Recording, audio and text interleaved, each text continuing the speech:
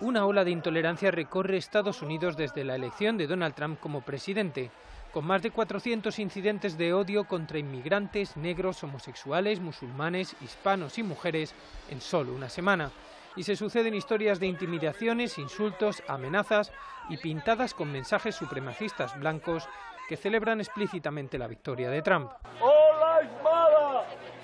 La organización Southern Poverty Law Center, que lucha desde 1971 contra la intolerancia, ha recopilado los sucesos recogidos en la prensa local, las redes sociales y una plataforma en su página web en la que los ciudadanos pueden reportar incidentes de odio.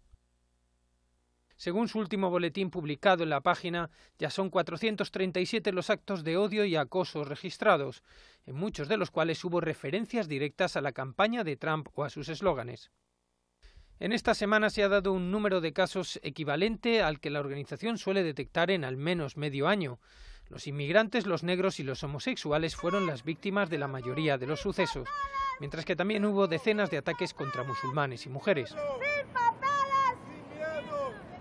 En al menos 30 actos se usó una esvástica nazi, mientras que en decenas de lugares del país aparecieron pintadas con mensajes como Blancos solo, Nación Trump, Poder Blanco o Hagamos Estados Unidos Blanco de nuevo, que parafrasea el lema de la campaña del magnate Hagamos Estados Unidos grande de nuevo.